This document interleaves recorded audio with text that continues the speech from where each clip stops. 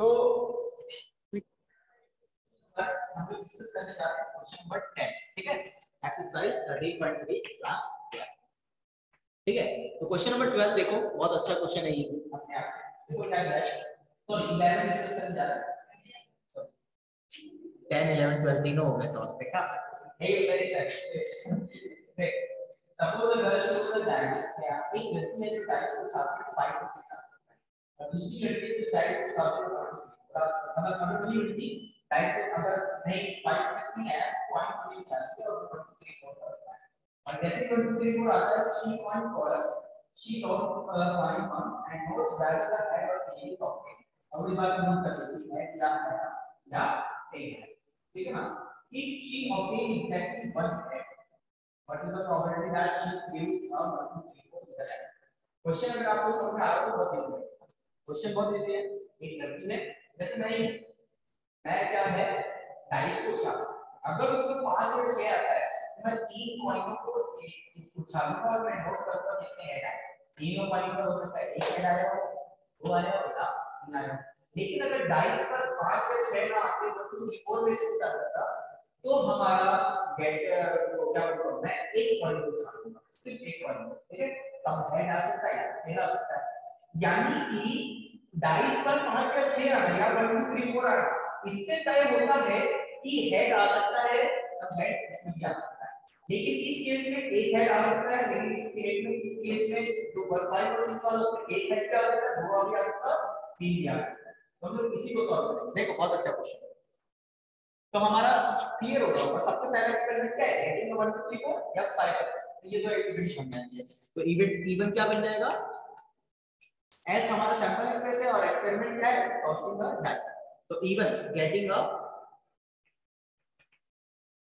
5 और 6 5 और 6 यानी कि the uh, probability of uh, even getting 5 or 6 is probability of 5 union 6 which is equal to probability of 5 plus probability of 6 minus probability of 5 intersection 6 आपको समझाने के लिए कर रहा हूँ हालाँकि आप डायरेक्ट कर सकते हैं इस तरह, probability 5 देती है 1 by 6 1 by 6 और क्या 5 और 6 एक साथ आ सकते नहीं कभी नहीं आ सकते।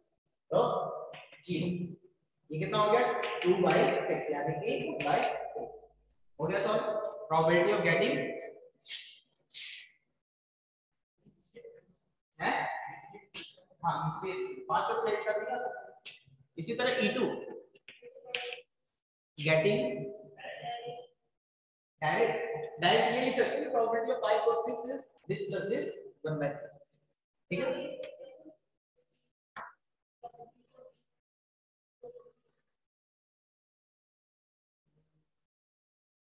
probability of direct equal equal to 1 by 3 लिख सकते हैं। हाँ वो भी ऐसे 1 बाय 3 ना लिख के 2 बाय 6 को फिर काट के 1 बाय 3 करना ताकि आपको पता चलता है 2 favourable case and 6 total number of ऐसे. गेटिंग 2 1 2 3 और 4 तो इसका प्रोबेबिलिटी ऑफ़ E2 E2 कितना हो जाएगा? प्रोबेबिलिटी ऑफ़ E2 जैसे ऐसे लिख सकते हो फोर पॉसिबिलिटीज है. 1 2 3 एंड 4 4 आउट ऑफ़ 6 यानी कि 2 बाय 3 अब हमारा तो प्रोबेबिलिटी ऑफ़ E1 आपके पास आ गया E2 आ गया. अब हमारा थर्ड इवेंट क्या डिसाइड करोगे? Getting a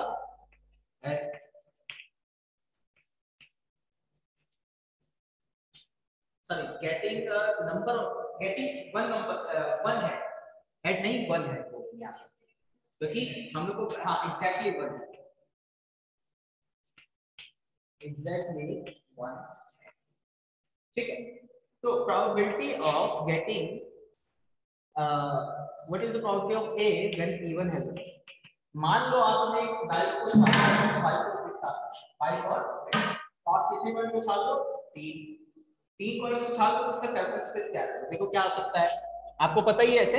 Head head head head tail head मतलब टोटल 8 8 आउटकम्स आएँगे लेकिन उसमें से एक हेड वाला कितना होगा? तीन होगा ना। 3 बाई 8 ये समझ में आया कैसे आएगा टोटल 8 आउटकम होते हैं। उसमें से तीन पॉसिबिलिटीज होती है। H T T T H T T T H यही। एग्जैक्टली वन हेड में तो एक ही हेड की बात होगी ना? एग्जैक्टली वन हेड मतलब सिर्फ़ एक हेड होना चाहिए, यहाँ पर तो तीन हेड ठीक है ना? तो ये हो गया three out of eight probability of getting a well a two है बट जब डाइस को उछालने पे वन टू थ्री फोर आया है तो तब हेड आने पर जब आपके पास वन टू थ्री फोर आया है तो आप डाइस को उछाल पॉइंट पे एक पॉइंट को उछाल पॉइंट को उछालने सिंगल पॉइंट को उछालने का प्रोबेबिलिटी कितनी होगी? हेड आने की 1 बाय 2 ये हो गया ये हो गया टोटल हमारा रेडी हो गया अब आपसे क्या पूछ रहे हैं what is the probability of getting what is what is the probability that the dice shows the 5 or 6 5 or 6 what 1 2 3 1 2 3 what is the probability of getting e2 when a has occurred क्या हो जाएगा probability of e2 and probability of a when e2 has occurred divided by summation of all i from 1 to 2 probability of ei into probability of a e i. अब पहले यहाँ से सारी की सारी वैल्यूज़ रखनी है सॉल्व करना है। ठीक है ना? एक क्वेश्चन नंबर 11 देखिए।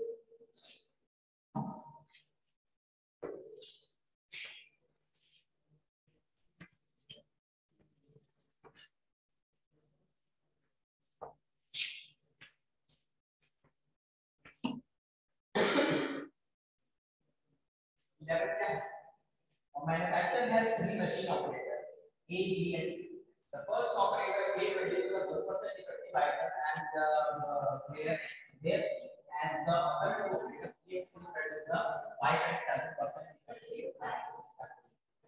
A is on the job for 50 percent of the time, and B is on the job of 30 percent of the time, and C is on the job of 20 percent of the time. The defective item is produced for the property that देखो यहाँ पर जो factory है, एक manufacture register of machine है आपको इस बार कोई प्रॉपर्टी नहीं कि ए कितना परसेंट प्रोड्यूस करता है बी कितना परसेंट प्रोड्यूस करता है सी कितना परसेंट प्रोड्यूस करता है। आपको तो ये बोला गया है कि ए जो है 50 परसेंट टाइम काम करता है। यानी कि एक साल में 6 महीने तक 50 परसेंट ए का इस्तेमाल करोगे, फिर क्या बोलते हैं 20 परसेंट बी का करोगे 30 परसेंट सी का करोगे तो एक बात बताओ, जो जितना परसेंट काम करेगा, आपको क्या ये बात बोला कि मशीन की एफिशिएंसी अलग-अलग है? ऐसा कुछ बोला? नहीं ना नहीं बोला। यानी कि आप ये मानोगे कि तीनों की मशीन की एफिशिएंसी सेम है। और अगर तीनों की मशीन की एफिशिएंसी सेम है तो साल भर में जो प्रोडक्ट प्रोड्यूस होंगे ए बी सी सबके द्वारा प्रोड्यूस प्रोडक्ट एक जैसे ही होंगे। और तो जो 50% काम करेगा 50% प्रोडक्ट बनाएगा, जो 30% काम करेगा 30% प्रोडक्ट बनाएगा जो 20% काम करेगा वो बनाएगा यानी कि इनडायरेक्ट वे में आपको प्रोबेबिलिटीज दे दी गई है चीज़ की ठीक है? तो आपका क्वेश्चन नंबर तो हमारा बेस कर लगेगा फिर हमारा क्या है? पहली मशीन से प्रोड्यूस हुआ प्रोडक्ट दूसरी मशीन से प्रोड्यूस हुआ प्रोडक्ट एंड तीसरी मशीन से प्रोड्यूस हुआ प्रोडक्ट और फिर आप आप ये कहेंगे प्रोडक्ट निकाला तो पाया क्या प्रोबेबिलिटी वो मशीन के साथ इस बात बता रहे हैं तो फिर कोई एग्जांपल अगर 19 की तरह के पूरा वर्ड्स की तरह, ठीक है ना? ज़्यादा डिटेल में नहीं जा रहा अगर आपको कुछ पूछना है तो दूसरी केस में मैं बता रहा हूँ तो एग्जांपल नंबर क्वेश्चन नंबर 12 पर चल। 11 में कुछ पूछना है। तो ये आपका जो 11 वाला क्वेश्चन है, वो टोटल एग्जांपल नंबर 19 की तरह है। ठीक है? चलिए आगे बढ़ते हैं। नेक्स्ट देखो। क्या बोल रहा है? कि आकार